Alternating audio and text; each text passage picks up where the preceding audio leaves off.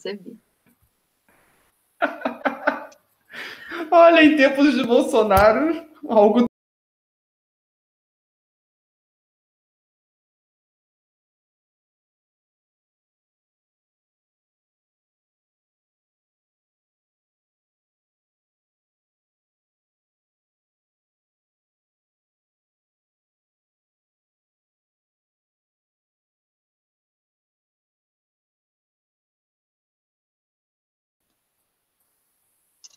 Eu, eu, tô, eu tô olhando aqui para não.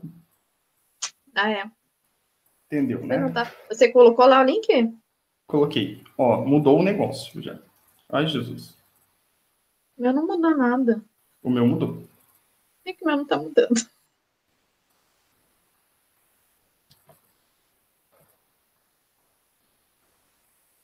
Pena que não tem intérprete, né? Eu tô, eu tô olhando aqui para não. Tá aparecendo. Eu tô, eu tô olhando aqui para não. Tá. Você colocou lá o link?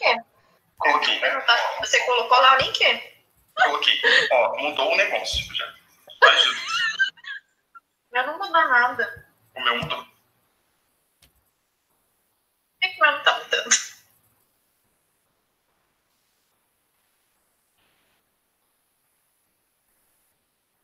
Pena que não tem intérprete, né? Eu tô, eu tô olhando aqui pra não. Tá aparecendo? Eu tô, eu tô olhando aqui pra não. Ó, mudou o negócio já. Ai, Jesus.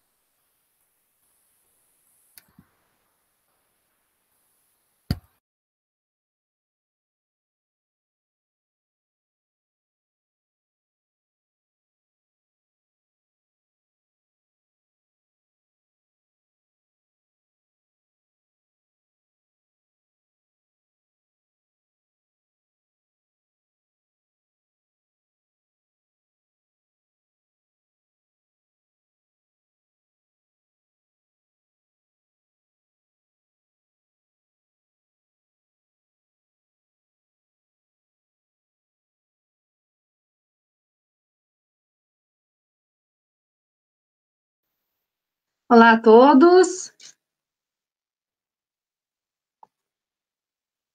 Boa noite. Vamos testando, ver se está funcionando.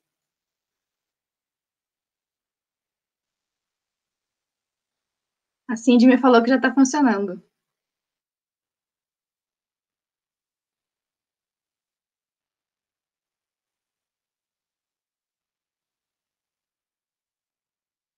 Agora sim.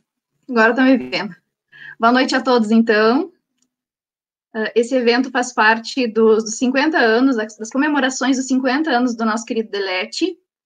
Uh, e nós gostaríamos, então, começar agradecendo né, a quem está, quem está assistindo a gente, agradecer também aos nossos colegas da instituição que estão nos dando apoio né, para que esse evento aconteça. Uh, também gostaríamos de agradecer especialmente o pessoal do, da coorte, né, que está dando esse apoio técnico para que a gente consiga é, né, fazer essa live, para que ela chegue para vocês a partir do, do YouTube. E nós gostaríamos, então, primeiramente, parabenizar né, o nosso querido Delete, do qual eu e o Eduardo fazemos parte, do, do nosso querido curso de letras, e também aos 10 anos do, do programa de, de pós-graduação em letras. Então, estamos muito felizes em poder comemorar esses 50 anos e esses 10 anos, mesmo que de maneira tão atípica, né, por conta da pandemia que assola o mundo inteiro. Uh, eu gostaria também de agradecer, então, todos que disponibilizaram algum tempo da sua rotina para né, para poder saber um pouquinho mais sobre cartas portuguesas. Alguns já sabem muito, né, outros uh, talvez não saibam exatamente o que, que é, podem estar esperando uma coisa errada, então é interessante que a gente já fale sobre o que se trata. E eu gostaria de dizer que as cartas portuguesas, então, é uma obra barroca, né, da, a, da Mariana Alcoforado, da literatura portuguesa, uh, e que é, tem, tem sido a minha paixão desde a minha graduação lá no FSM, em que eu comecei, então, meus estudos sobre as cartas portuguesas, depois que eu encontrei essa obra, ainda antes da disciplina de literatura portuguesa na, na instituição, eu encontrei essa obra na biblioteca e me encantei, né? E a minha dissertação de mestrado, então, foi sobre as cartas portuguesas, verificando ali uh, vários elementos, né, especialmente como se constrói, como se constituiu esse, esse, esses movimentos semânticos, né, de paixão e de engano. E, uh, então, talvez, por conta dessa minha paixão sobre, uh, pelas cartas portuguesas, eu fui levada a estudar as novas cartas portuguesas que utilizaram, né, a, a obra da Mariana Alcoforado como mote para essa obra também muito importante dentro da tradição literária da, de Portugal, da, da, Maria Isabel Barreno, da Maria Teresa Horta e da Maria Velho da Costa. Então, eu queria te falar né, que a minha paixão vem daí, minha dissertação e minha tese foram sobre literatura portuguesa, da mesma forma, a trajetória do professor Eduardo Sozek Mendes uh, é semelhante, né? Tem focado também a literatura portuguesa, com a sua dissertação e a sua tese sobre Alexandre Herculano, uh, enfatizando especialmente uh, as, as questões de religiosidade na literatura.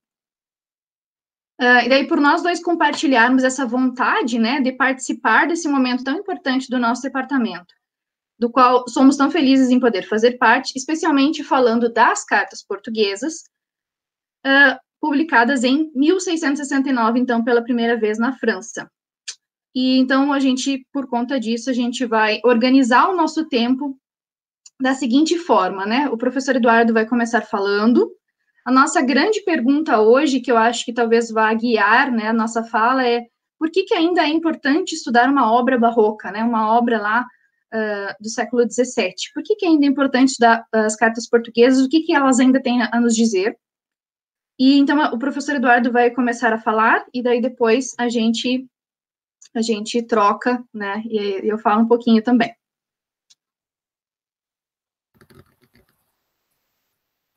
Então, boa noite a todos. É, também com muita alegria, celebrando esses 50 anos do nosso departamento do curso de Letras da Universidade Estadual do Centro-Oeste.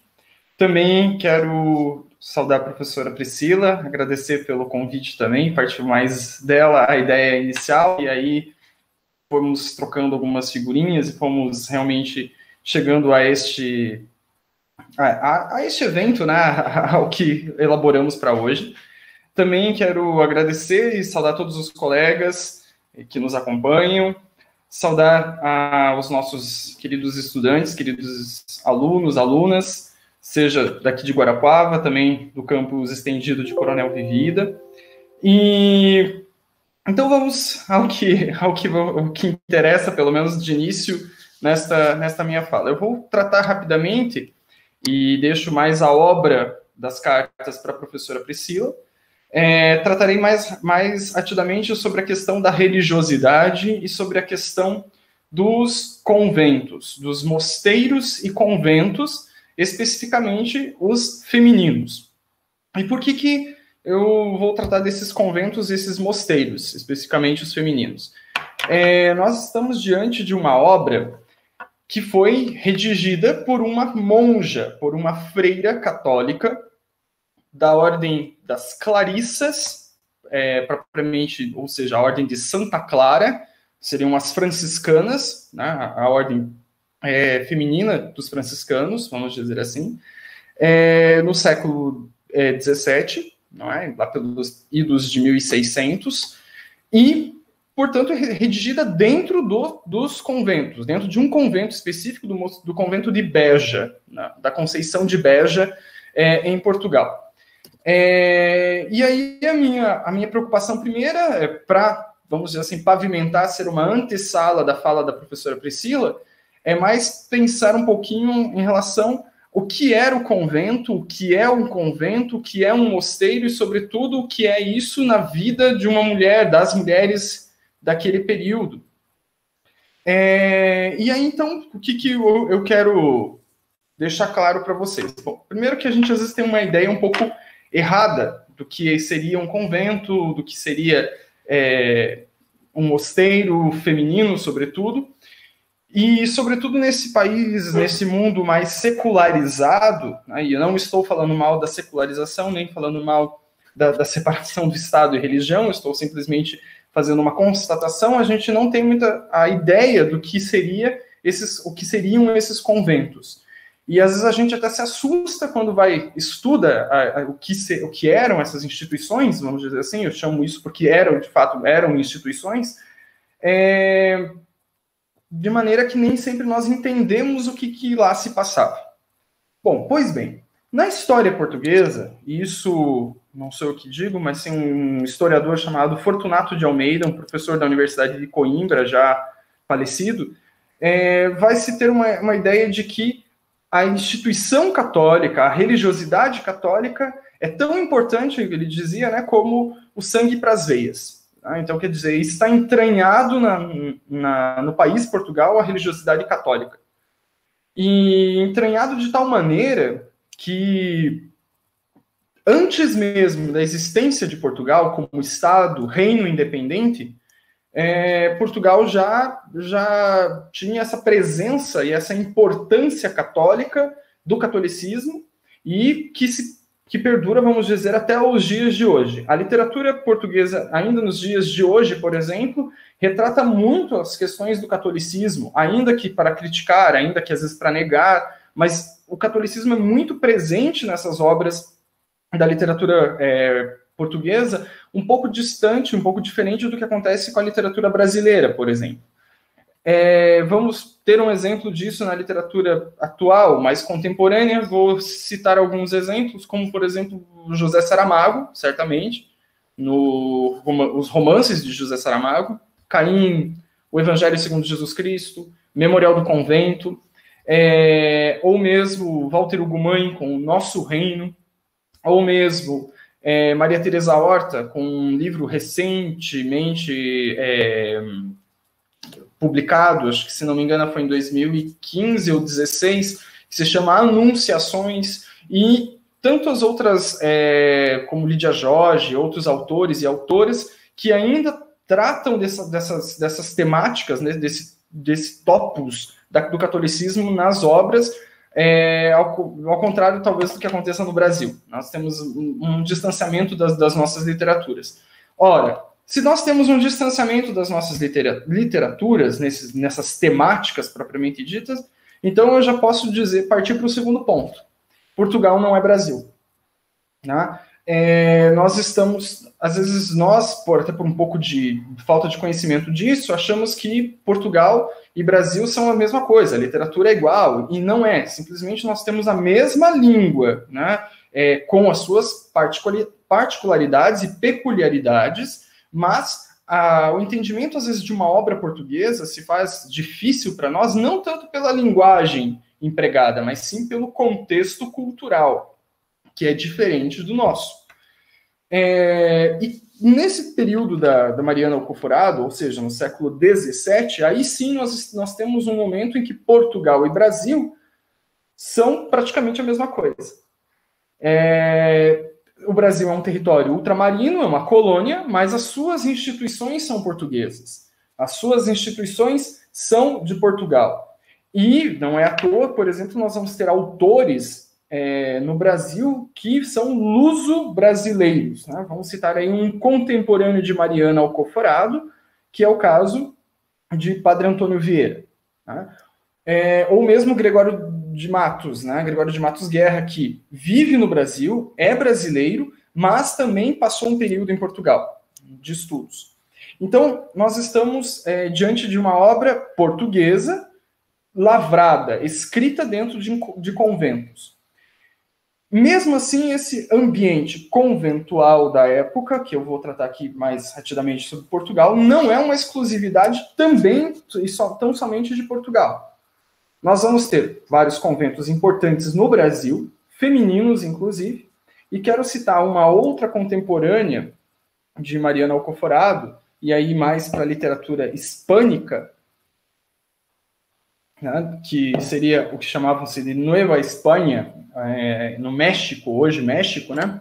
Que é a Sor Juana Inês de la Cruz, tá? é, que é uma poetisa, uma, uma, escritora, uma grande intelectual, com a maior parte, mais, mais, com mais, muito mais livros que muitos homens da época. Pensemos que livros eram, eram coisas muito caras, talvez agora fiquem também um pouco mais caros.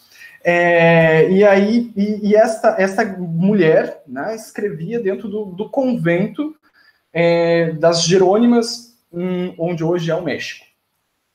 Bom, primeiro, o que, que seria, então, a instituição? Por que a instituição de um convento, de um mosteiro, ou de mosteiros e conventos? Isso remonta ao princípio do cristianismo, quando o cristianismo passa a ser a religião de Estado, vamos dizer assim, de Roma, do Império Romano. Então, o, até a época da perseguição, muitos dos, do, dos, dos homens e mulheres cristãos não poderiam se definir como cristãos. A partir de Constantino, do imperador Constantino, no século é, ali, é, quarto, mais ou menos, há uma espécie de já é, assimilação do cristianismo pelo império, inclusive do próprio imperador. E, a partir dali, há uma discussão sobre a formação de lugares para monges e monjas habitarem.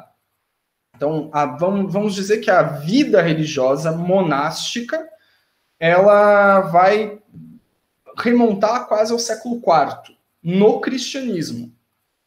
Entretanto, obviamente, isso não é uma exclusividade do cristianismo e do catolicismo. Nós vamos encontrar monges né, que vivem, por exemplo, é, esse estilo de vida desde a antiguidade. Nós vamos encontrar isso no budismo, por exemplo. Nós vamos encontrar no judaísmo com os essênios da época de Cristo, que viviam no mar próximos ao, ao, deserto, né?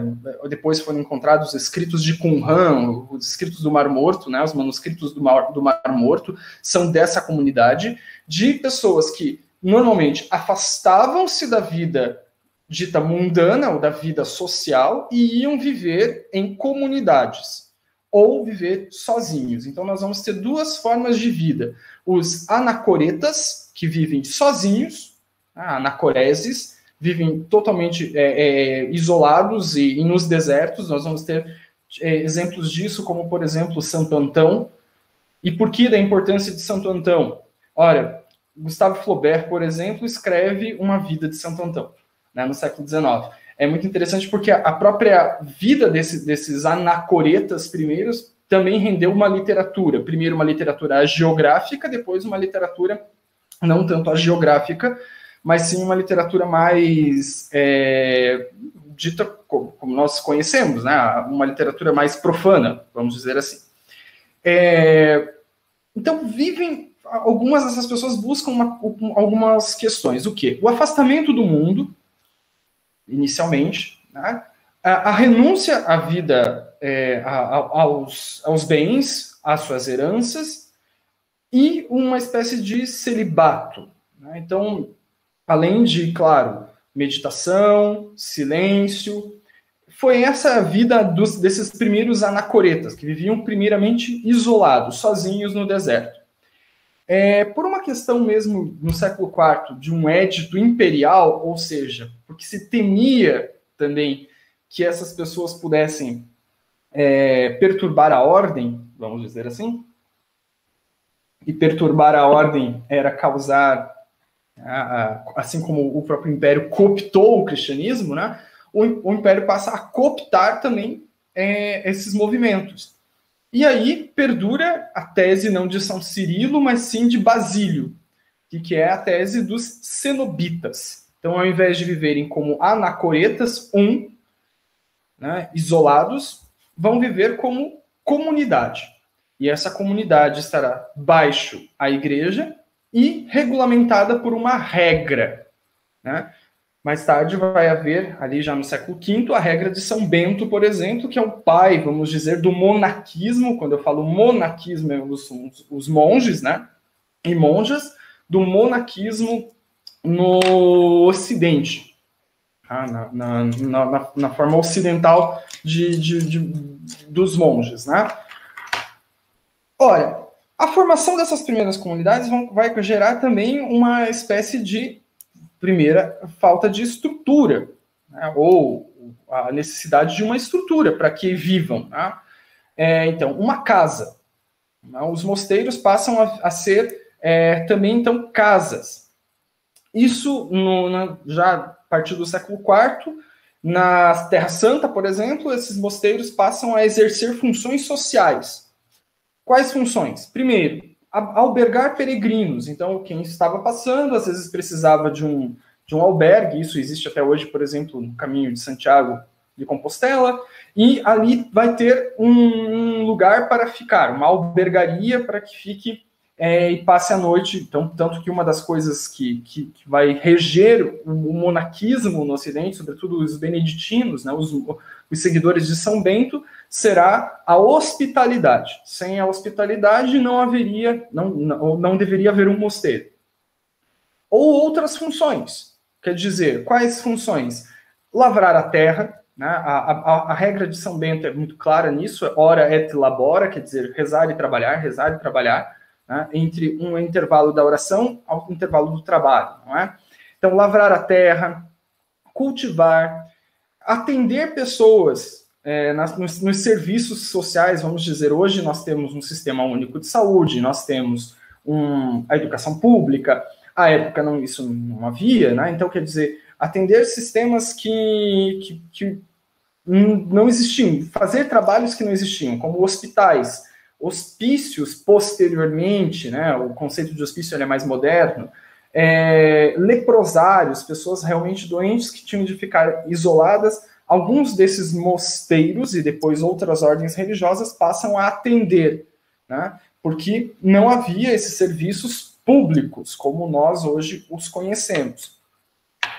É, e por fim, né, então o que, que o que, que vai, vai acontecer? Que gerando essas casas, elas vão ganhando certas estruturas, é, elas vão ter um, um, um, porquê da existência, a regra vai prever os momentos que, que, em que podem é, em que são os momentos de oração.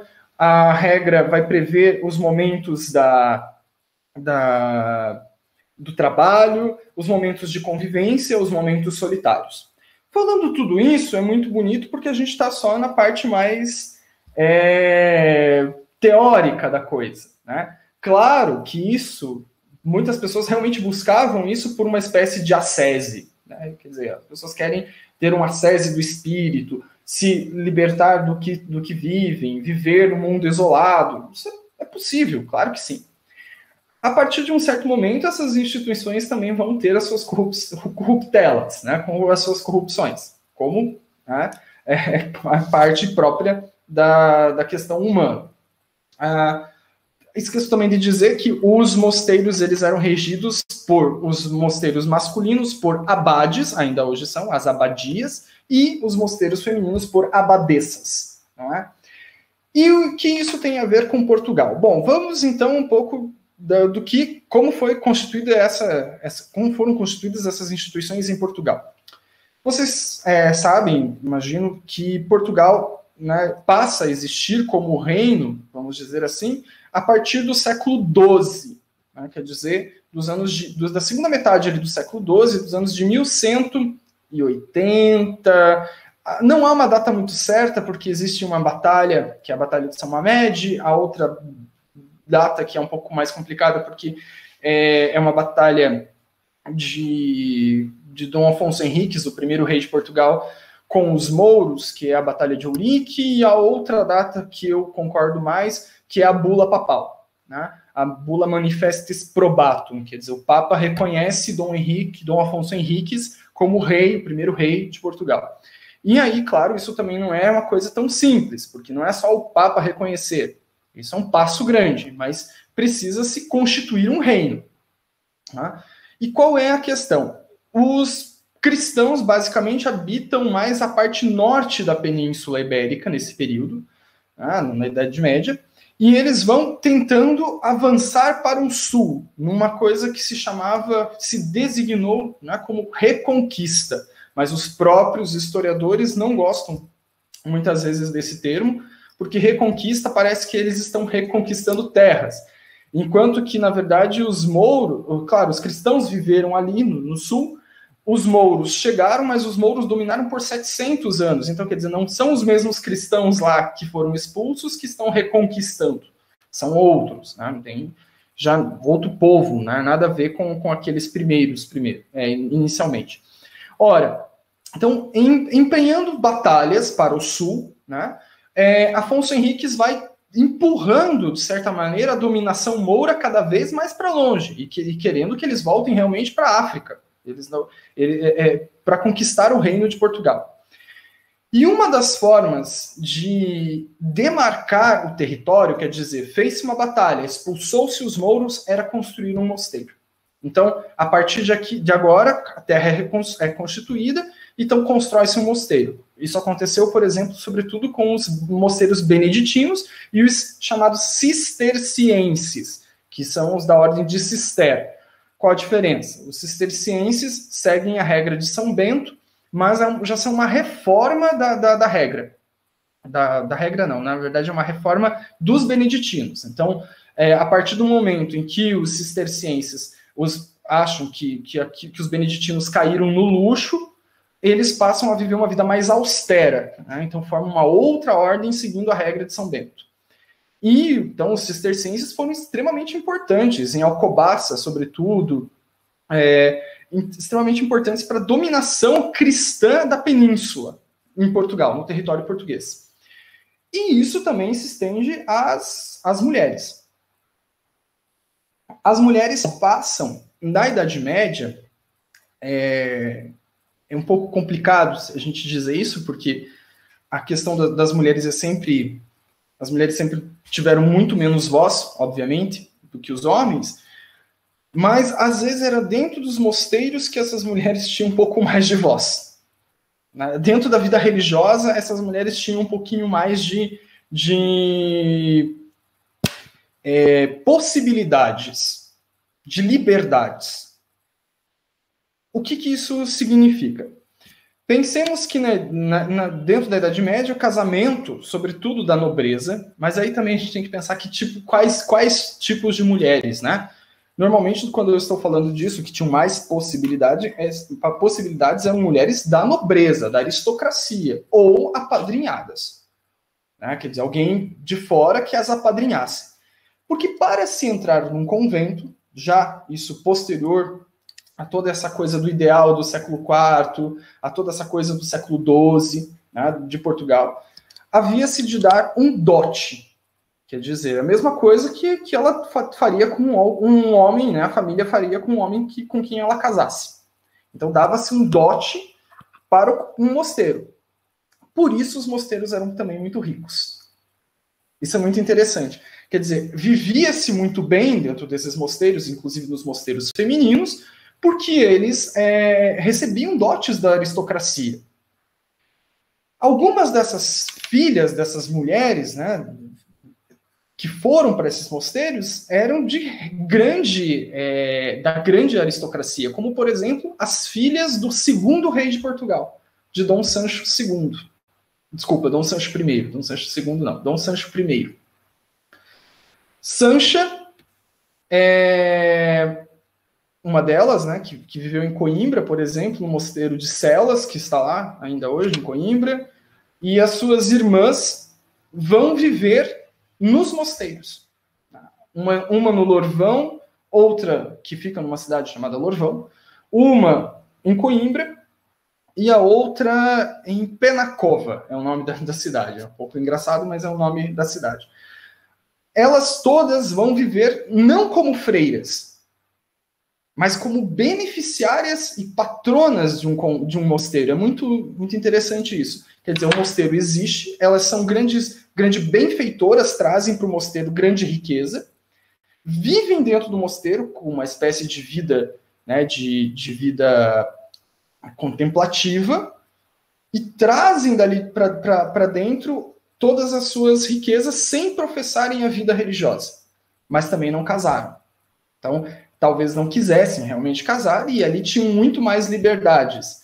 Dentro disso, é, atraem também para esses mosteiros outras figuras importantes da aristocracia e da nobreza, porque os nobres, vendo as filhas do rei vivendo nesses mosteiros, colocam também suas filhas nesses mesmos mosteiros, para viverem todas juntas, né? É, vivendo uma vida de, de, de claustro. Né?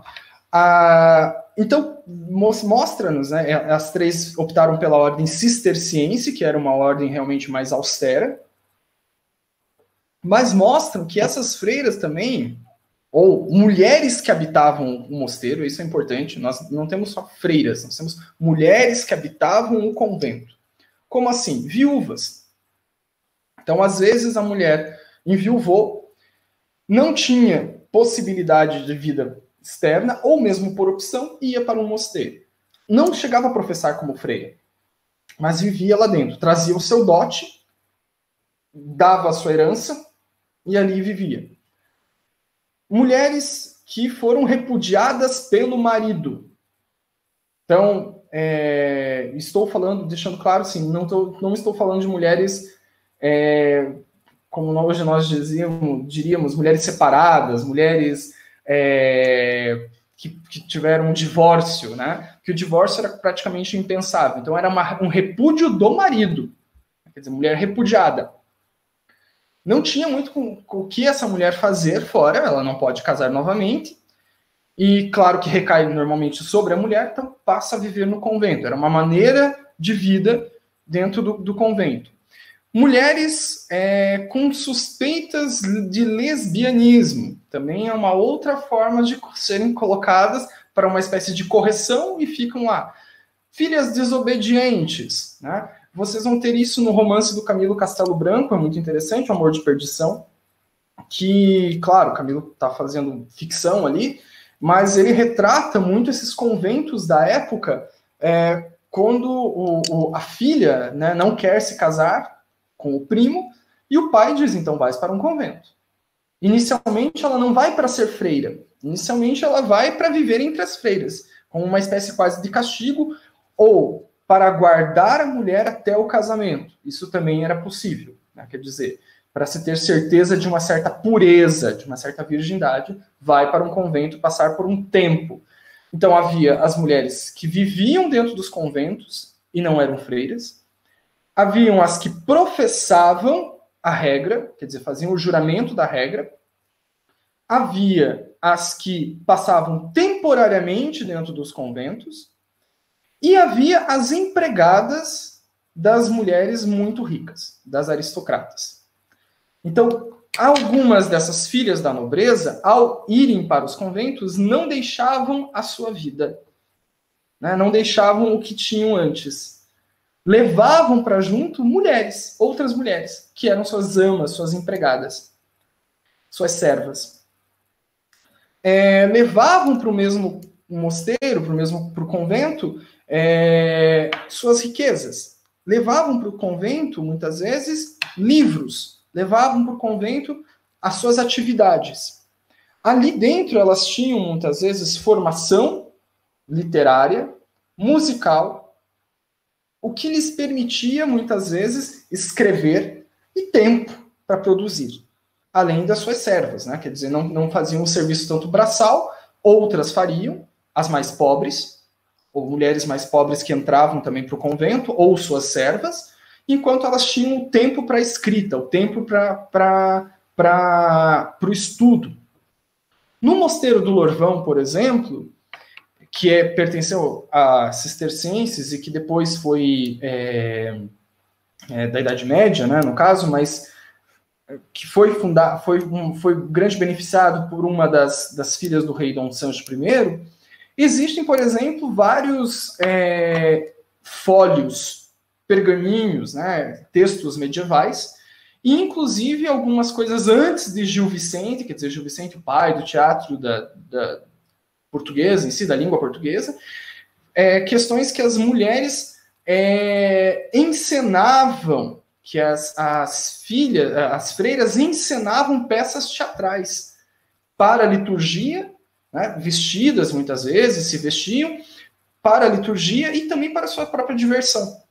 Então, quer dizer, ali dentro não é uma vida monótona simplesmente, elas têm diversões, elas têm produção, elas podem escrever, Vamos pensar que na Idade Média e posterior mesmo isso à Idade Média, já a Mariana Alcoforado não está na Idade Média, né, já está no século XVII, a taxa de analfabetismo é muito grande, muito elevada, mesmo dentre os homens. Imagine para as mulheres. Tá? Então, quer dizer, ali dentro é uma possibilidade da cultura letrada. O acesso a livros era muito raro. Os mosteiros tinham grandes bibliotecas, são coisas muito caras. É? Então, tudo isso vai se fazendo é, ao longo dessa, desse, dessa vida desses mosteiros.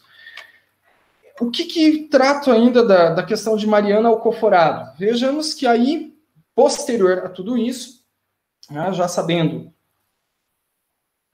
o que são essas instituições historicamente, ao longo da Idade Média e indo já para a Idade Moderna, os conventos, então, passam a ser albergarias de mulheres, muitas vezes, é, isso até o século XIX em Portugal. Em 1834, há uma extinção dos mosteiros, femininos, masculinos. Dos mosteiros masculinos são extintos imediatamente, os homens têm de sair de lá é, pelo governo liberal, né, depois da Revolução Liberal, depois da Guerra Civil, entre os absolutistas e os liberais. Liderados, inclusive, os liberais pelo nosso Dom Pedro, imperador do Brasil, Dom Pedro I, lá era Dom Pedro IV, né, que seria o terceiro, o quarto Pedro depois de outros três. É, os conventos foram extintos, menos os das mulheres inicialmente. Os das mulheres seriam da seguinte maneira: elas não poderiam receber estudantes noviças, nem outras mulheres, mas até a última freira morrer, elas poderiam ficar lá, por uma questão mesmo de é, vulnerabilidade das mulheres que, que se acreditava. Né? É, e aí, né, alguns autores, alguns historiadores vão dizer que gera-se um grande problema, porque os, os liberais achavam que eram as ordens religiosas, aquelas que seguiam a regra, uma regra em específico, que, é, vamos dizer, causavam um, um, era um sustentáculo do antigo regime, dos absolutistas. Mas o grande problema gerado pela extinção dos conventos femininos é o que farão com as mulheres o que se fará com algumas dessas mulheres? É, então, é, é, um, é um problema, vamos dizer assim, né? Porque a, a, o divórcio não existe. Né? Não, não existe. É, alguma, algumas coisas não, não são previstas na sociedade. Quer dizer, antes se colocava no convento e pronto. E agora? O que fará? O que se fará? Não é? E também, né, pensando um pouco na, na, no caso da Mariana Alcoforado, então. A freira Mariana Alcoforado é uma dessas que é da grande aristocracia. É uma filha da nobreza, não é uma desamparada completamente, pelo contrário. Viveu e teve provavelmente muito acesso a algumas coisas. Ela chega aí já não mais para cistercienses, mas para uma reforma dentro da igreja que aconteceu a partir do século XII com Santa Clara de Assis, que era amiga de São Francisco. Não é? Francisco de Assis não vive em mosteiros, Francisco de Assis vive em conventos é, abertos, né? e Francisco e os franciscanos, mas as mulheres, as clarissas, as seguidoras de Santa Clara, passam a viver em mosteiros fechados, onde, segundo a regra de Santa Clara, elas deveriam saber ler, pelo menos a, a, as freiras professas, a, a sua grande maioria, não tanto as empregadas, isso não era ou aquelas que viviam como é, ser, servas da, das freiras professas, para que pudessem rezar. Então, quer dizer, tinham acesso aos livros e coisas assim. Tá? Também é uma ordem um pouco mais democrática, vamos dizer, se nós pensarmos dentro das outras ordens é, onde há uma abadesa, né, e, não que as, as clarissas não, não tivessem uma superior a uma abadesa, mas é, prevê mais liberdades para a mulher, não é? É, e essas instituições, com, onde, onde Mariana vai. Essa instituição, desculpe-me, em Beja, na, na cidade de Beja, onde Mariana vai viver, é uma instituição muito muito mais livre. Entretanto, nós temos de ter claro algumas coisas que, que aconteciam. As mulheres entravam lá e não podiam sair. Isso é fato. As mulheres não entravam lá e não podiam mais sair. E, inclusive, por exemplo, não tinham acesso ao público. Então, havia grades, eram gradeadas, né? o convento todo gradeado, acho que a professora Priscila passou por lá e sabe disso. As orações das mulheres eram no claustro superior, quer dizer, onde não se tinha acesso ao público, o povo vinha à igreja, podia ver a igreja, via-se as freiras, mas não se tinha contato. Entretanto, não se deixava de ter tanto contato. Né? Quer dizer, cartas saíam de lá de dentro, e muitas vezes, como as próprias cartas de Mariana dizem, alguns homens frequentavam essas casas, né? Como entravam? Bom, aí alguém deve ter facilitado a entrada, alguém deve Assim como a gente se pergunta, como que celulares entram nas cadeias hoje, não é? Então, como que entravam? Alguém facilita, provavelmente. Até porque eram mulheres muito ricas, até porque subornar não era tão difícil, isso, né? E uma das coisas que é um autor que eu estudo, o Herculano, diz, que é muito interessante, a documentação histórica dele, na história da origem e estabelecimento da Inquisição em Portugal, Herculano foi, depois que os mosteiros foram extintos, ele foi aos arquivos desses mosteiros e trouxe muitas das coisas que hoje estão na Torre do Tombo. Eu já estou encerrando porque acho que eu já passei do meu horário. Eu falei que ia dizer pouco, falar pouco hoje. É, trouxe muitas coisas para a Torre do Tombo, ainda bem, preservou muitas coisas dos arquivos que nós temos ainda hoje lá. É, e essa preservação que está feita na Torre do Tombo, pelo Herculano, traz a história, por exemplo, do, do Mosteiro do Lorvão, onde algumas superioras tiveram filhos dentro do convento, pariram dentro do convento. Esses filhos, ou essas filhas, também se tornaram freiras foram criadas no claustro, é muito. É, chega a ser risível a história, né? É, foram criadas no claustro e também se tornaram freiras depois. Então, mostra também que a vida desses lugares não era tão monótona, ao mesmo tempo, é, eram lugares onde as mulheres tinham mais liberdades do que às vezes casadas, mesmo sendo filhas da aristocracia, para encaminhando para o fim, né? E tinham acesso, muitas vezes, aos escritos. Então, a, a, cultura letrada, a cultura escrita, que jamais teriam fora. Além do tempo para a escrita, além do tempo para a leitura e, todo, e tudo isso. Ah, acho que a professora Priscila talvez vai tratar dessa questão das, da autenticidade, da autoria das cartas, que muitas vezes se diz, ah, não era de Mariana, não é, era, não era, né? Enfim, o fato é que tudo corrobora que as mulheres tinham sim acesso a tudo isso, a, a escrita, e aí podiam sim, não é um a meu ver, já vou dar um pouco da minha, da minha opinião, não é uma falsificação, é um, são cartas, são cartas como, como é, e, e, tocadas, são cinco, né? Lettre portuguesa, que foi assim publicado em francês, é, são cinco cartas publicadas para a época.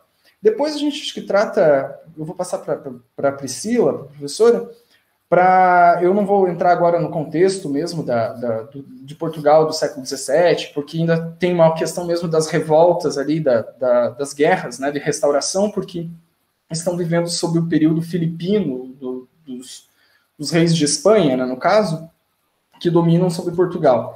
Mas, então, acho que um pouco a professora Priscila pode passar. Eu, o que eu tentei aqui fazer é mais uma espécie de antessala para que a gente entenda o que, que né, em, em, que momento isso se produziu, o que, que eram esses ambientes, e eu acho que a minha contribuição inicial foi dada. Obrigado, professor Eduardo. Ah, eu acho que você conseguiu já nos instigar, né, para pensar nessa na questão que chamou a atenção muito à época da publicação das cartas, que foi exatamente o exotismo da situação, né? Eram cartas de uma freira a seu amante. E, e, isso, se hoje isso nos chama atenção, na época também chamou muito atenção, e essas cartas circularam muito, e elas se tornaram um best-seller mundial, né? Tanto que a Maria Isabel Barreno, num livro chamado Um Imaginário Europeu, ela vai falar de, desse, desse best-seller, né, dessa grande, uh, desse grande boom de interesse que, que houve pelas cartas, especialmente fora de Portugal. E é interessante também que, talvez por conta desse contexto que o Eduardo colocou, né, um contexto de, um país bastante religioso, bastante conservador, a gente vai ter a, a tradução das cartas portuguesas uh, para o português de novo no século XIX, uh, porque elas foram publicadas primeiramente em português, em, em francês, desculpa. E é por isso que uh, o professor Eduardo, inclusive, tocou nesse ponto, existe sim uma, uma querela, né, eh, sobre se a, a, autoria é da, da Mariana Alcoforado. Uh, em alguns livros de, de, literatura francesa é possível nós encontrarmos a Le Lettre Portuguese como obra do Guilherme Hague, né? Então, o autor, constando então como autor francês. Mas existem muitos estudos assim que vão uh, que vão dar conta da, dessa né, dessa possibilidade de ser mesmo a Mariana Alcoforado autora, exatamente porque estando num mosteiro, ela tinha acesso à educação, possivelmente, inclusive, ela, ela podia ser falante de francês ou estudiosa de francês. uh, o, o, o Marquês de Chamelli, estando em Portugal, ele poderia também, né, uh, dominar o, o, português, então existe uh, uma série de evidências aí que apontam para né, a autoria da Mariana Alcoforá. Uh, mas existe, né, toda uma, uma questão em cima disso. De qualquer forma, essas obras ficaram tão famosas, tão famosas, que elas vão influenciar, inclusive, na arte, inclusive, então vai ter várias obras que vão né, remeter a essa obra e ao tipo de amor que é interpretado daí. Uh, eu gostaria de mostrar, então, alguns slides para vocês, eu vou ver se vai, se vai dar certo. Eduardo, me diz sim se você vai enxergar meus slides aí, por favor, que eu acho que eu não vou enxergar nada.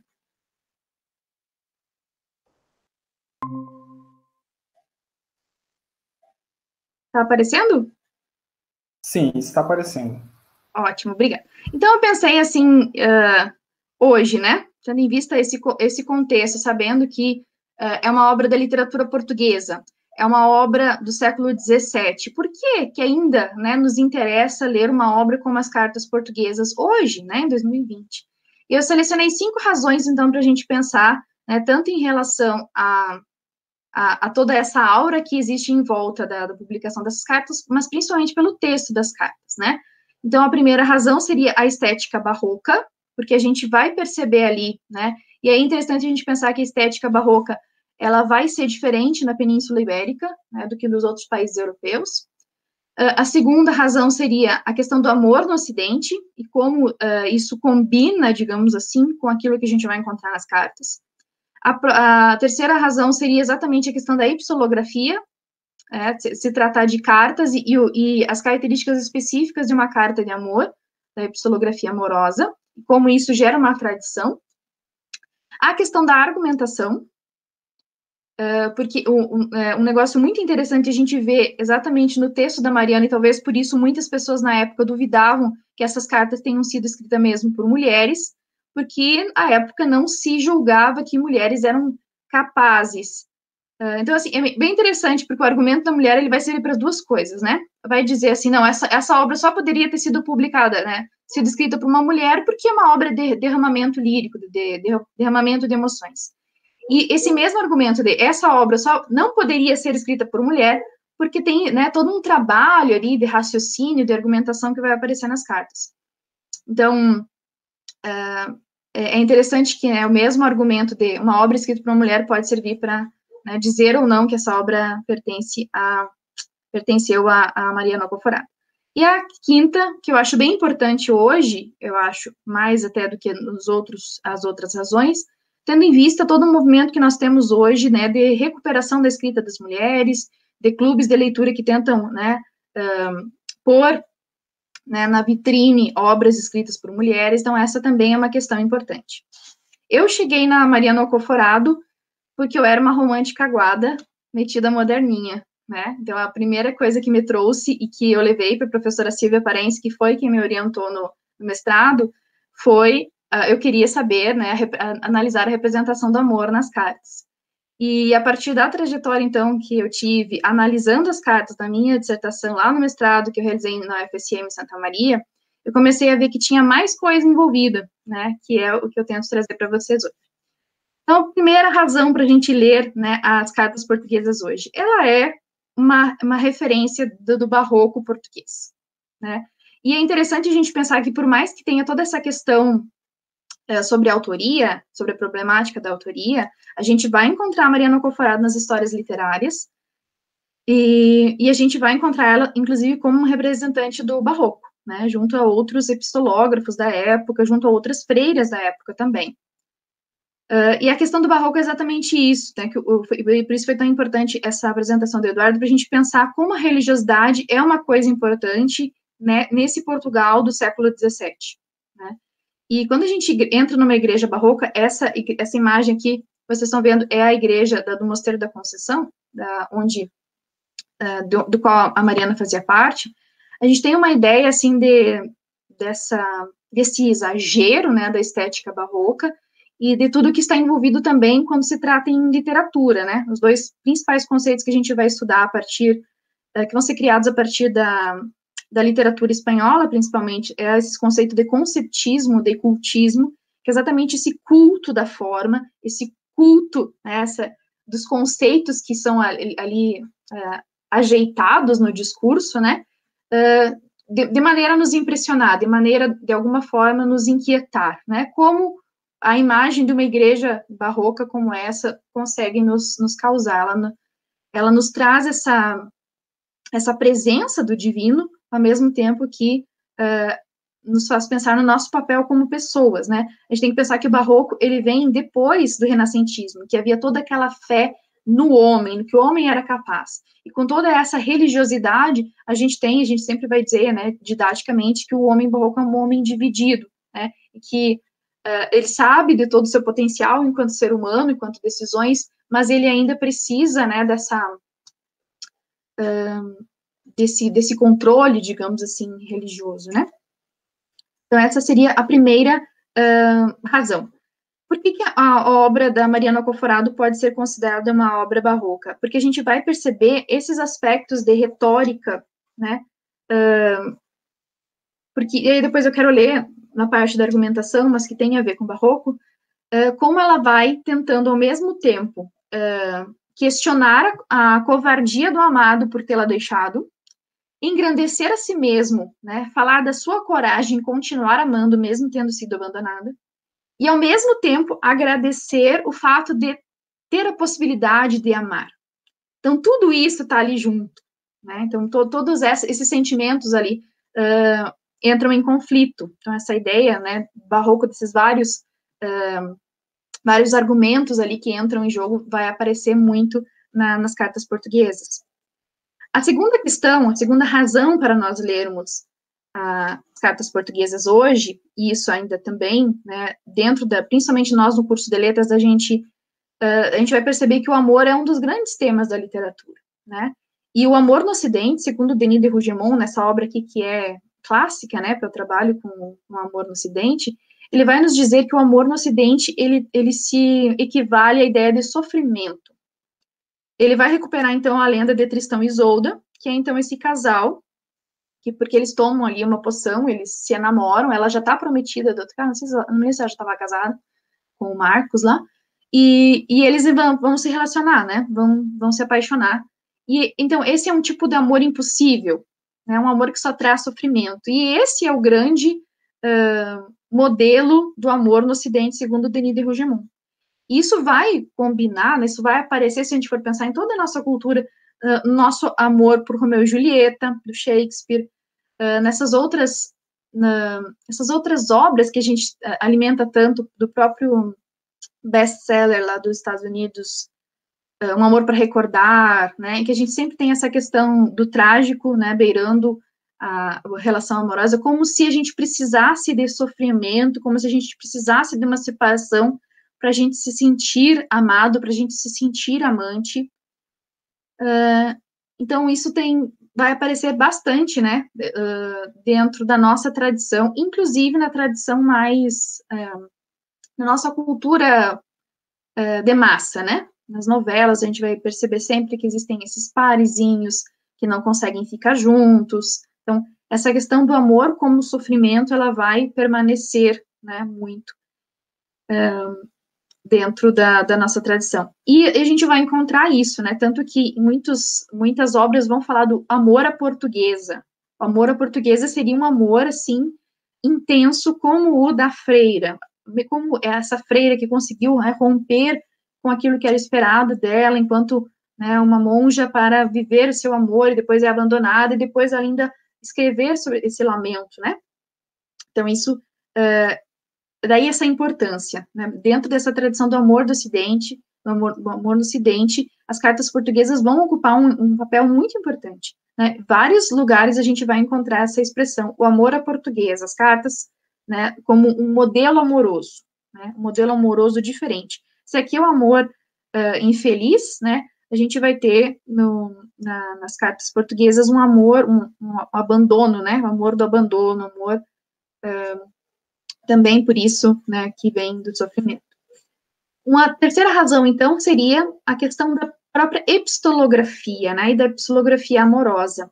A epistolografia nada mais é do que a arte de escrever cartas. Uh, dentro da literatura, dentro do cânone literário de uma forma geral, as cartas, ora, vão fazer parte né, do cânone, da tradição, ora, não. Mas vai se criar uma tradição de epistolografia, né, tanto que existe essa obra aqui da, da André Cabret, Cabret Roche, meu francês, uh, que foi a esposa do Miguel Torga, né, que é, é, que é uma obra bastante importante, que ela vai, então, retomar a tradição da epistolografia em Portugal.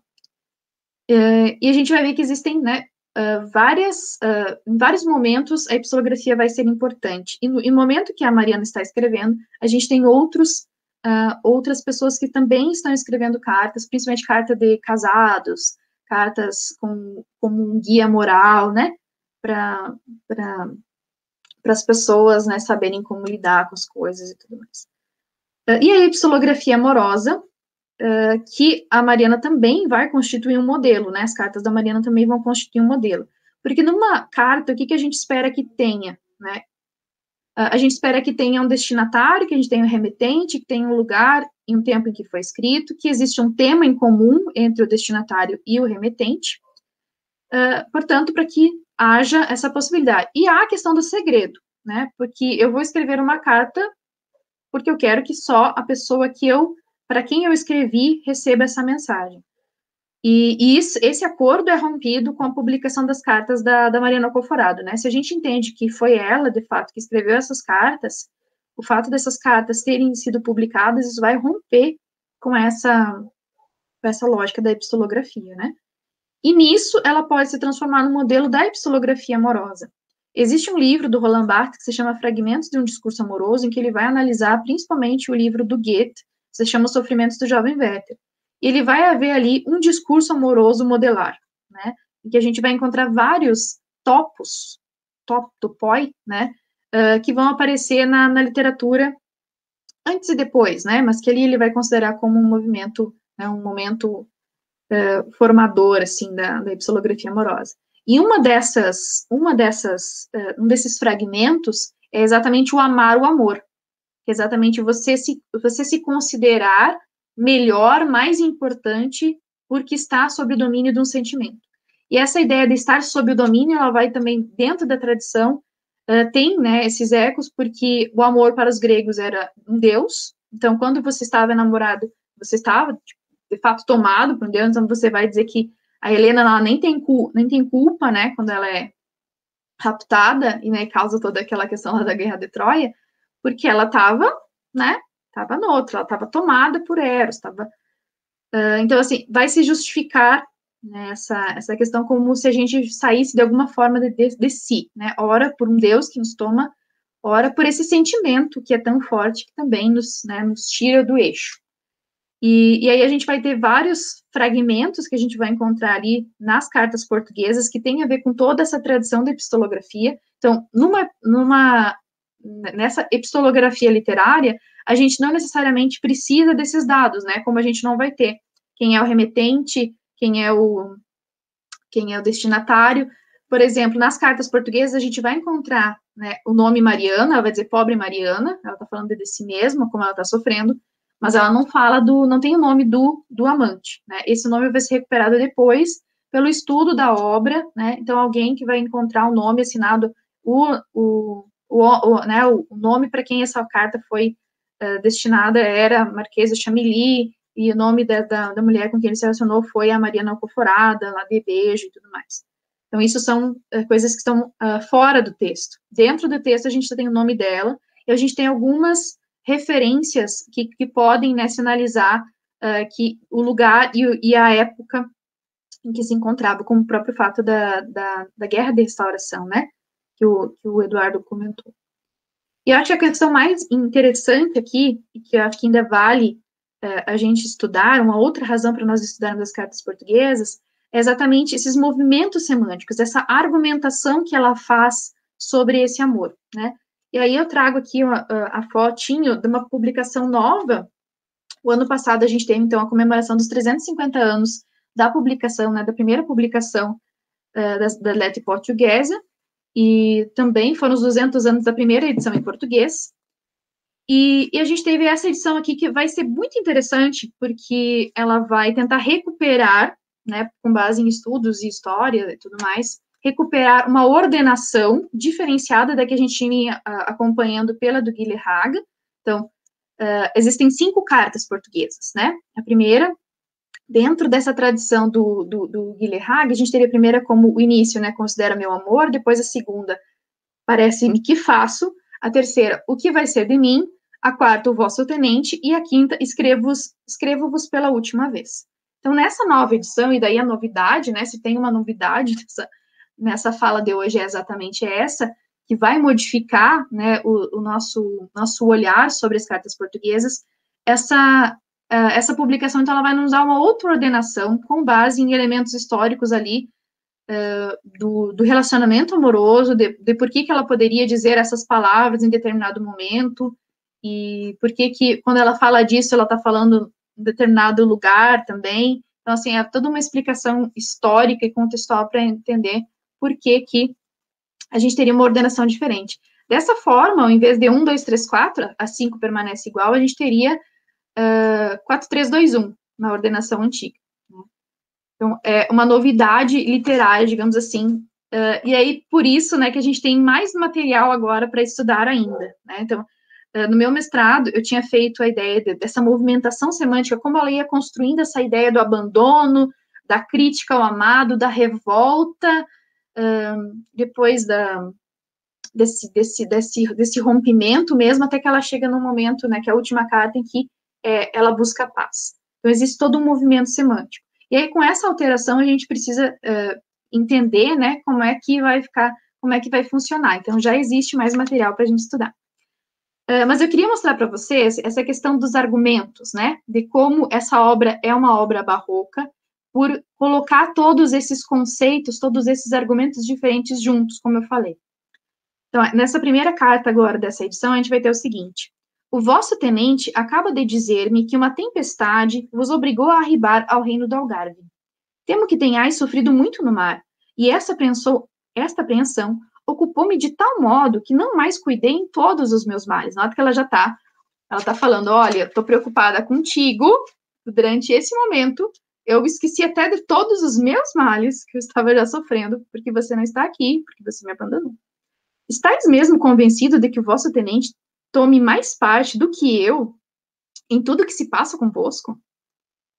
Por que está ele mais bem informado e, enfim, por que não me escreveste nada? Que infeliz sou eu se nenhuma ocasião tiveste para isso desde a vossa partida. E sou mais ainda se a tiveste sem me escrever. Ou seja, nossa, que infeliz que eu sou se você não teve nenhum tempo para escrever para mim. E pior, se você teve tempo e não escreveu mesmo assim. A vossa injustiça e a vossa ingratidão são extremas. Mas, e aí notem a questão dos argumentos. Ela tá, oh, não, eu tô triste porque você, né, teve esse percalço aí, mas eu tô sofrendo. Eu tô triste porque você não me escreveu, mas tudo bem. E daí ela vai dizer: a vossa injustiça e a vossa ingratidão são extremas mas ficaria em desespero se elas atraíssem sobre vós alguma desgraça. E compraz-me mais que fiquem sem punição do que se delas eu fosse vingada. Resisto a todas as aparências que deveriam persuadir-me. Uh, a gente vai ter uma quantidade de mas, né? Quantos desassossegos me teríeis evitado se o vosso procedimento tivesse sido tão indiferente nos primeiros dias em que vos vi, como que tem parecido há algum tempo? Notem que ela está criticando ele. Ela faz todo esse movimento de, de crítica não só o abandono, mas a maneira como ele né, a tratava no início do relacionamento. Mas quem não teria sido lograda como eu, com tantos desvelos, e a quem não teriam eles parecido sinceros? E ela vai continuar. Então, ela vai fazer todo esse movimento, né, de uh, eu estou com raiva de você, mas eu não quero que você sofra. Eu estou com raiva de você, mas eu prefiro que você esteja bem, mesmo que longe de mim. Então, assim, e ela vai uh, também alimentar essa ideia de que, de quanto uh, ela é uma pessoa privilegiada, né, por ter sentido essa paixão, mesmo que ela tenha sido abandonada. E essa, uh, esse assunto, ele vai sendo, vai sendo desenvolvido ao longo das cartas, né, até que, na última carta, a gente vai ter esse rompimento.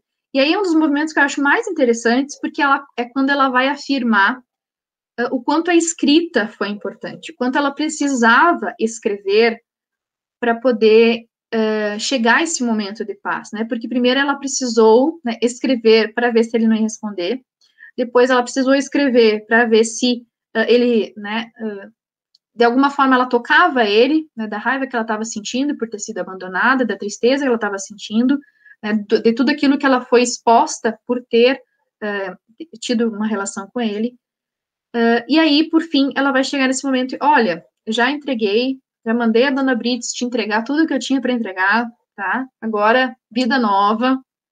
E, e ela vai, então, uh, nessa carta, nessa última carta, principalmente, dizer o quanto a escrita é importante, né? Escreva-vos da última vez. E ela vai argumentar, então, como a escrita tem esse papel de consolo. E aí é nessa, nesse sentido que a gente pode chegar no, na última razão, né? Na, na última das cinco razões que eu elenquei para a gente pensar na, na, importância ainda das cartas portuguesas nos dias atuais, porque ainda se faz importante esse estudo, uh, pelo fato de que é uma escrita né, feminina, porque é uma, é, é uma obra escrita por uma mulher, uh, é, uma, é uma voz feminina que faz parte de uma tradição de voz feminina na literatura portuguesa. Então, essa voz do lamento, por exemplo, se a gente for recuperar, a gente vai chegar lá no trovadorismo, a gente tem as cantigas de amigo, em que a gente tem esse lamento de uma mulher abandonada. Então, esse lamento das cantigas de amigo, mesmo que tendo sido escritas por homens, é, é, essa voz feminina do lamento, ela vai né, deixar rastros, digamos assim, na tradição da escrita de mulheres na, na, literatura. E isso é tão forte que lá no século XX, uma das grandes, né, um dos grandes celebridades, um dos grandes nomes da literatura portuguesa, que é a Flor Bela Espanca, vai recuperar também essa voz de lamento dessa vez mais liberta, né?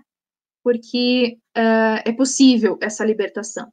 Mas é, uh, essa, essa tradição é tão forte que a Florbela Espanca, por exemplo, ela vai ter um livro em que ela vai se intitular, né? Vai, um livro, não, um soneto que ela vai intitular como Soror Saudade. Então, ela vai chamar esse, esse lugar, né? Esse lugar literário, esse, esse topos, né? Da, da mulher abandonada e da Soror, para dentro da sua poesia. E vai ser uma poesia muito também destacada por, por esse, por destacar esse, falar desse lamento feminino, desse, dessa questão do, do, amor, da emoção, né, coisas que a gente já encontra na Mariana Alcoforado lá no século XVII. Uh, e aí é interessante também se a gente pensar, enquanto uh, com poucas mulheres a gente consegue recuperar nessa tradição até o século XIX.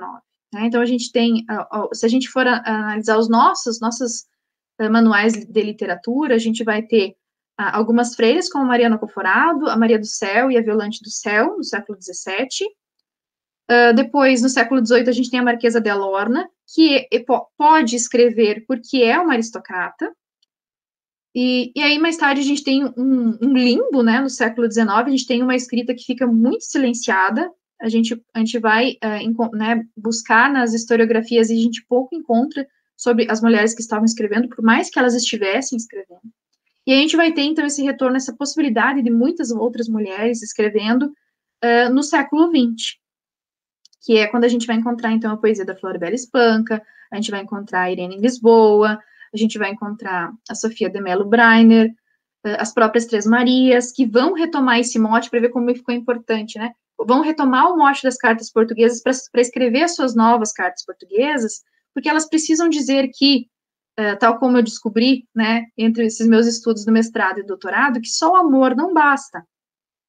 Uh, que talvez o amor não precisasse ser sinônimo de sofrimento, como é né, no Ocidente, segundo Denis de Rogemont, se a mulher tivesse a liberdade de escolher com quem ela casar. Né? Se, a, se a Isolda pudesse escolher ficar com Tristão e pronto, olha, não vou mais ficar com Marcos, vou ficar com Tristão, estava resolvido o negócio. Mas daí não tinha esse enredo, não tinha né, essa, essa história triste para nos abalar até hoje. Então, é interessante a gente pensar na, na, na importância também da, da, obra da Mariana Conforada exatamente por conta disso, né? É uma mulher que escreve, é, é uma mulher que escreve sobre o, sobre o seu romance, sobre o seu abandono e sobre né, essa tentativa de, de, de recuperação, de empoderamento pela escrita. É, então, tudo, tudo isso a gente pode encontrar nessas cartas, né, além de tudo que eu falei. E aí, eu trouxe um poeminha para encerrar aqui, que vai exatamente falar dentro dessa questão da escrita das mulheres, né? Esse poema faz parte da minha tese, que eu recomendo que vocês leiam. E, e ele faz uma homenagem, então, a uma poeta portuguesa que é a Irene Lisboa. Ela, tão, ela escreve, né, ela faz parte do, do presencismo, da geração do presencismo, e ela escreve sobre pseudônimos, que é uma, uma, uma, uma tática recorrente entre as mulheres, né, quando elas não podiam publicar. Então, eu faço esse poema para a gente pensar nessa última questão, né? Como ainda é importante estudar mulheres de forma geral, como ainda é importante estudar as cartas portuguesas, por tudo que elas representam, mas especialmente porque é uma obra de mulher, né? E, né, e que vai e que a gente precisa recuperar esses nomes que ficaram, essas vozes que ficaram silenciadas. Então, eis o poema para Irene Lisboa. Quem não sai da sua casa, quem assiste a vida da janela, da televisão, da tela do computador, vive como aranha no seu redondel. Cria mil olhos para nada. Mil olhos, Irene, para nada. Quem não sai de sua casa, quem só vê a alternância do vento, dos costumes do, de dentro, vive como a aranha no seu redondel, sempre prisioneira, sempre enfadada. Quem não sai de sua casa, quem escreve, mas não acredita que alguém queira de fato isto ler, vive como a aranha no seu redondel, e se cerra, com expressão antiga, mas sincera. Quem não sai de sua casa, quem se esconde sob codinomes, Vive como aranha no seu redondel e duvida, faz muito do sonho, pouco da vida. Assim se fazem Joões Falco e Manuel Soares, se fazem Currers, Ellis e Acton Bells, se fazem George Sand e George Eliot, se fazem vergonhada escrita, veneno e antídoto de poeta, se fazem aranhas em redondéis e poemas carretel. E aqui tá as, as minhas grandes referências, são as minhas, as, os amores da minha vida, né, da vida acadêmica, que é a minha dissertação, a minha tese, e que eu vou tentar recuperar um pouco dessa escrita de mulheres que eu julgo tão importante e que a Mariana, então, vai ser uma representante. E aí eu acho que a gente pode né, abrir, ver se a gente tem alguma questão, a gente pode, eu acho que o Eduardo pode falar um pouco mais do motivo, né, por que, que a Mariana pode ter esse relacionamento com Chamili, que é né, o contexto histórico, o que, que o Chamili estava fazendo lá, e, e, aí a gente vai Sim. acompanhar mais. Sim, na verdade, o que, que vou encurtar realmente porque é um contexto bastante complexo, né?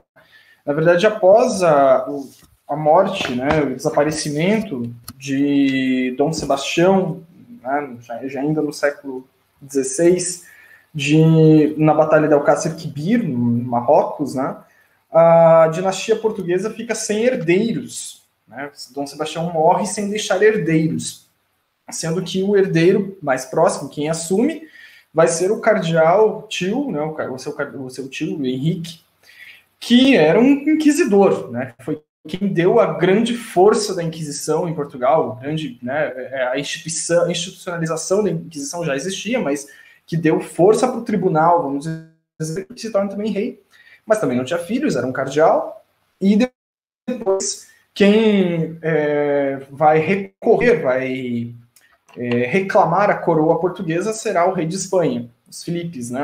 Por isso ah, eu falei antes ah, o tempo filipino, né? Do, do período de União Ibérica. Então, o que, que acontece nesse período? Uh, o rei de, de, Espanha será também rei de Portugal. Portugal não vai deixar de existir, é um reino, né? Tanto que é muito simbólico que Felipe I, é, de Portugal seja Felipe II de Espanha. Então, porque ele usa o. É o mesmo Felipe, mas ele mantém uma certa independência do reino. Mas claro que não como os portugueses gostariam, não é? é e ele faz muitas obras né, em Portugal também para mostrar o seu poder. Né? A igreja hoje atual de São Vicente de Fora, em Lisboa, é uma obra toda filipina, de esmagar, mostrar né, o poder filipino. Nós temos de pensar que o Brasil, nessa época, é colônia de Portugal, então, quer dizer, também vive sob a União Ibérica, sob a União de Coroas, né? E aí, no, no momento em que a Mariana está no convento, por exemplo, começam a acontecer as guerras portuguesas, quer dizer, a guerra de restauração. E quem vem ajudar Portugal, de certa maneira, são alguns oficiais franceses. O Marquês de Chamilly é esse, né? É um oficial francês onde provavelmente ela, como freira, se envolveu amorosamente, né? E, e a carta deixa muito claro que eles sim tiveram um encontro é, erótico, sexual, enfim, é, no convento, diz que ele entrou no convento, a carta né, é, conta isso, né, dá aquela coisa quando estavas aqui, quando entrastes aqui, quando estávamos juntos, né, tudo, tudo isso está, está na, na carta de, de Mariana, da, da monja Clarissa. E só queria reforçar mais uma coisa, acho que a, a professora Priscila fez muito bem, e, claro, fez uma ótima apresentação e fez muito bem em trazer as imagens da Igreja da Conceição de Beja, né, do convento. Hoje não existe ele inteiro, né? O século XIX, os liberais fizeram um favorzinho, infelizmente, de demolir parte do, do mosteiro do convento da, da Conceição de Beja, mas pelo menos a igreja e parte do convento existe. E muito interessante como essa a, a, a linguagem das cartas também é uma linguagem bastante relacionada com o barroco, né? O exagero das coisas, a, né, não é uma linguagem curta, breve, não é difícil de ler, mas é uma coisa assim, é, de, de um, um, um, uma coisa que se entranha na outra, um argumento que se entranha na, no outro, né?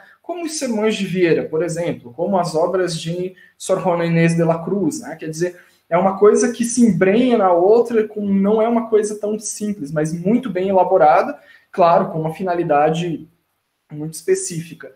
E muito interessante também nós pensarmos esse barroco, né, que é a época da, da Mariana Alcoforado, que é uma, uma, um resultado também do de Trento, né, do Concílio de Trento, da Contra-Reforma Católica.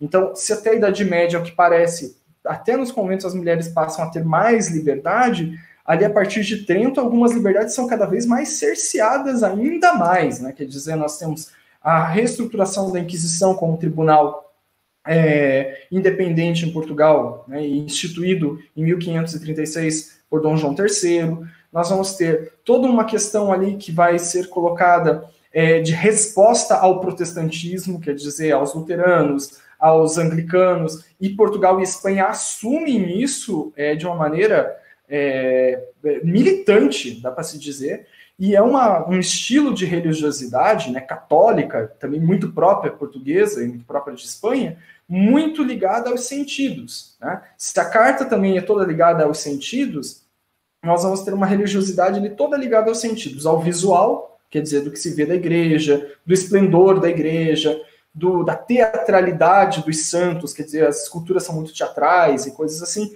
mesmo os sermões eram muito teatrais, quer dizer, o, pregador tinha que é, levantar a mão, né, talvez esmurrar o, o, púlpito e coisas assim. Né? Aquilo que é auditivo, quer dizer, a música barroca, a música, os sinos, os elementos próprios de, de, dessa religiosidade, aquilo que é, quer dizer, é o sonoro, né? É, e ali é um ambiente de Beja extremamente, né? O órgão está ali, os sinos estão ali, né? É, o canto, né, o sermão, a pregação, aquilo que entra, então, portanto, pelos olhos, entra pela, pelo, pelo ouvido, passa pelo tato, quer dizer, pelo pegar né, nas relíquias, pelo pegar nos santos, pelo, pelo é, tatear né, as coisas, coisas que em tempos de pandemia não estamos podendo fazer, é tatear o outro, né, mas nesse sentido. E é, pelo, também pelo, pelo paladar, com as comidas próprias das festas e pela própria hóstia né, e vinho, e até pelas narinas, pelo incenso. Então, até pelas narinas é uma coisa que, que entra, né, é, faz entrar em êxtase, vamos dizer assim.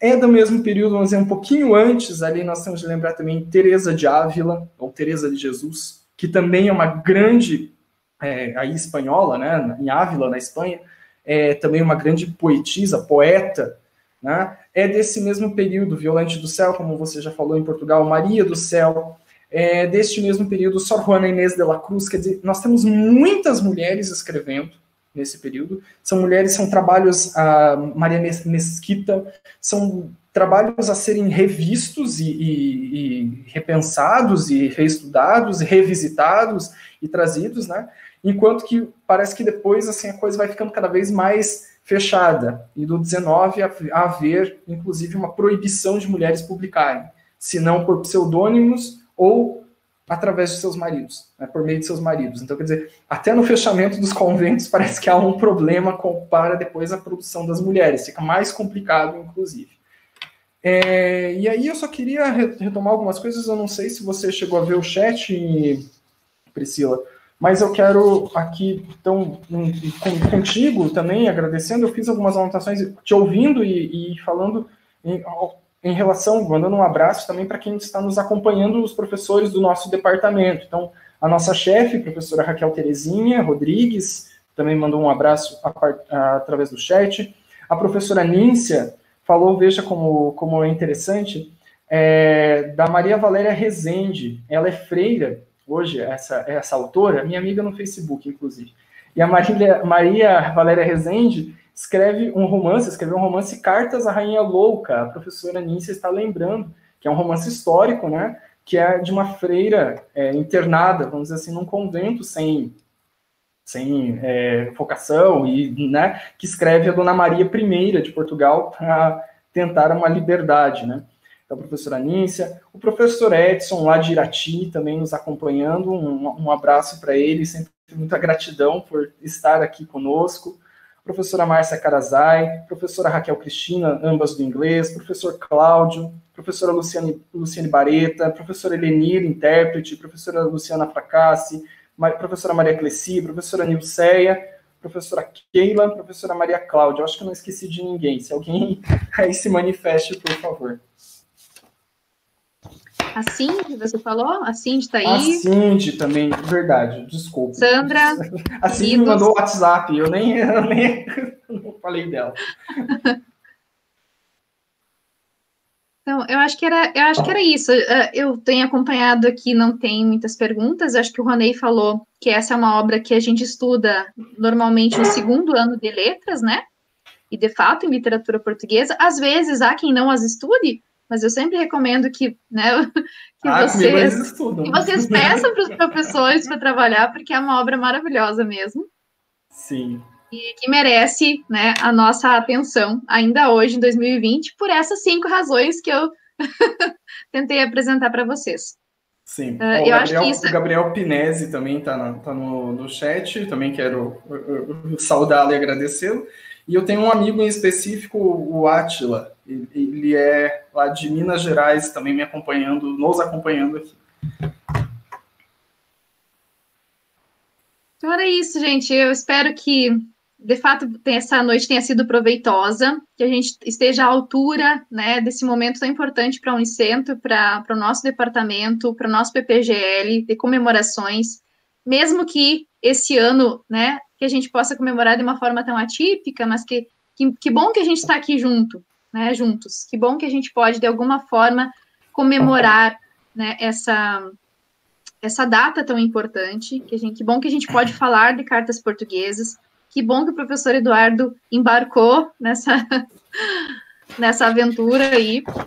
E, e é, eu gostaria muito de agradecer mesmo esse, essa oportunidade né, de falar das cartas portuguesas e, de alguma forma, tentar né, convencê-los a ler, se vocês ainda não leram, porque é uma obra tão pequenininha, mas tão cheia de, de encantos né, e de coisas para trabalhar também. Sim, com certeza. Só posso agradecer também a professora Priscila, agradecer minha amiga Priscila, né? Enfim, acho que não precisamos tanto, tanta formalidade e agradecer ao departamento, a, todas, a todos os nossos colegas de departamento, aos nossos alunos, estudantes, a quem de fora, quem acompanha.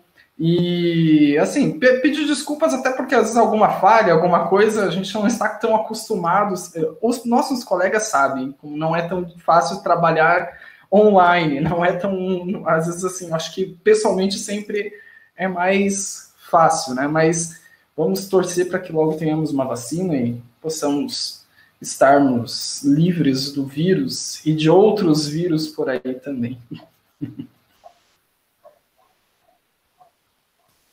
Eu acho que era isso, né, Eduardo? Podemos encerrar. Uhum, muito, muito obrigada pela presença de todos. Tenham todos uma boa noite. E sigam a nossa programação, que a gente tem mais encontros por aí. Exatamente. Boa noite para vocês e sempre pela liberdade pela liberdade de todos.